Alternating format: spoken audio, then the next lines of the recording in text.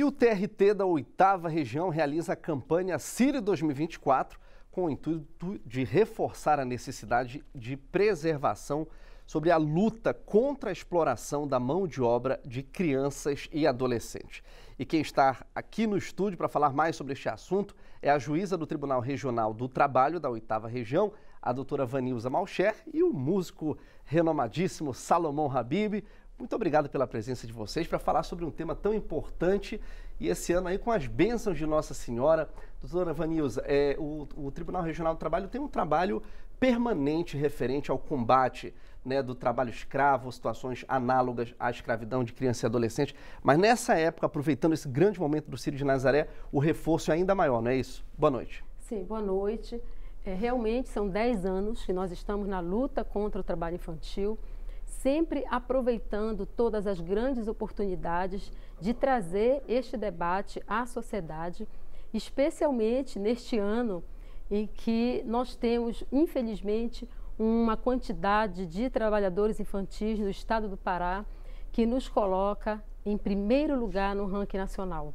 Então, mais do que nunca, nós precisamos fortalecer a nossa luta, intensificar é, a, conclamar toda a sociedade para que venha somar esforços conosco, porque nós não podemos admitir, aceitar que o Estado, que é o Estado da COP30, tenha esta quantidade de trabalhadores infantis. Isso não combina com sustentabilidade. Tá certo. E Salomão, é importante essa chamada da classe artística também para reverberar ainda mais essa campanha, não é isso?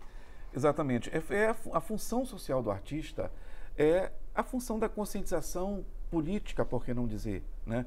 de, de fazer bradar essa voz contra o trabalho infantil.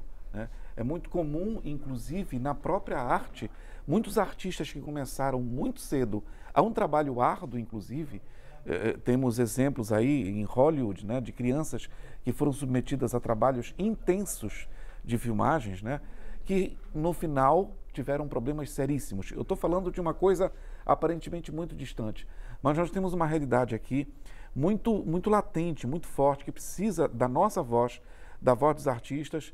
Estou eu, Pinduca, Alba, o Nilson, Alain Roffé, muitos outros artistas, não vou nominar todos aqui, que não, nem ia dar tempo, são muitos artistas engajados nessa luta da doutora Vanilza, da doutora Zuila e de todos que fazem parte dessa campanha belíssima e ultra importante, porque nós não temos ideia da quantidade de crianças, não é, doutora, que fazem parte, lamentavelmente, de um número assim assustador de crianças trabalhando.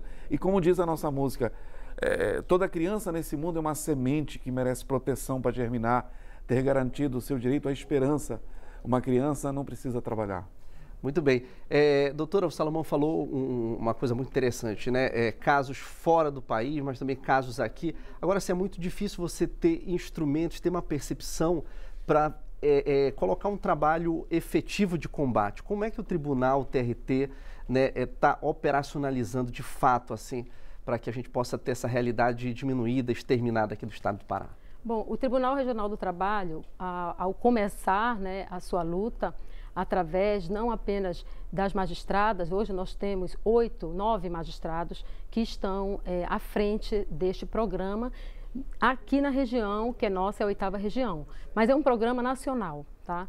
E nós trabalhamos com voluntários e padrinhos e cidadãos, desenvolvendo atividades em 25 bairros de Belém e região metropolitana, oferecendo a oportunidade de desenvolvimento a crianças e adolescentes. Então, nós queremos adolescentes desenvolvidos. Saiba que no estado do Pará são 191 mil crianças e adolescentes que estão identificados em, numericamente né, como trabalhadores infantis.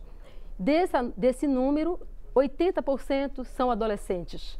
Então, nós precisamos cuidar da adolescência, cuidar da criança, mas também cuidar dos adolescentes, que é a grande maioria dos trabalhadores infantis, oferecendo cursos profissionalizantes, oferecendo curso de informática, nós temos feito isso, dando oportunidade de se desenvolverem alguma habilidade que eles tenham interesse.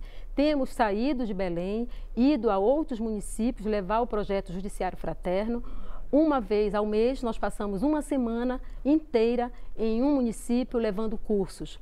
Além da música, né, que o Salomão Habib, grande parceiro nosso, tem também desenvolvido dentro do tribunal o projeto Cantar o Lar com crianças e adolescentes. Então, o que nós podemos fazer para somar nessa luta, nós estamos fazendo. Nós acreditamos que só a oportunidade e a educação é capaz de transformar a realidade de vida de crianças e adolescentes. Tá certo. Doutora Vanilza, olha, muito obrigado pela sua presença. Salomão, muito obrigado mesmo, mais uma vez. Sucesso na campanha e conte também aqui com o Jornal Cultura, com a Funtepa, com a Cultura Rede de Comunicação, para divulgar para todo o estado do Pará essa campanha. Uma boa noite para vocês. Obrigado muito pela obrigada, presença. Boa noite.